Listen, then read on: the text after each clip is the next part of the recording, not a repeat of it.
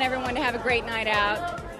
You know, anything deeper than that you hope for, and it's all left to the individual. So when it comes to eat, pray, or love, which do you think you do better? Eat, pray, or love? They're all one thing to me.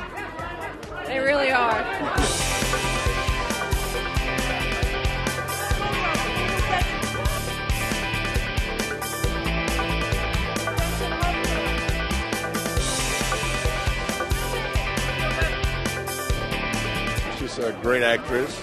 That it's not new, but I didn't know the person. And the person is unbelievably uh, generous, fun to work with, and very easy. Like uh, we had a great time. We we worked, and uh, even when we were fighting, we have a good time afterwards. And also Ryan Murphy is a great director, and we we just laughed a lot.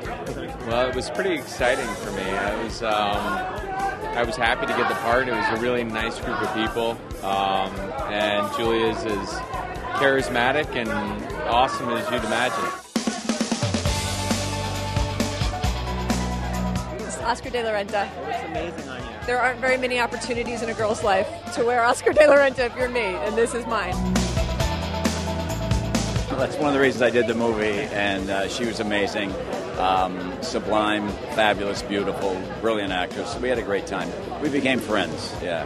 Well, Oprah calls Julia our Julia, which I love, and I think it's true. I mean, we many of us have grown up with her, and I think everybody wants to sort of be her best friend because she she sort of radiates an empathy and a compassion, and I thought she was just perfect for the part.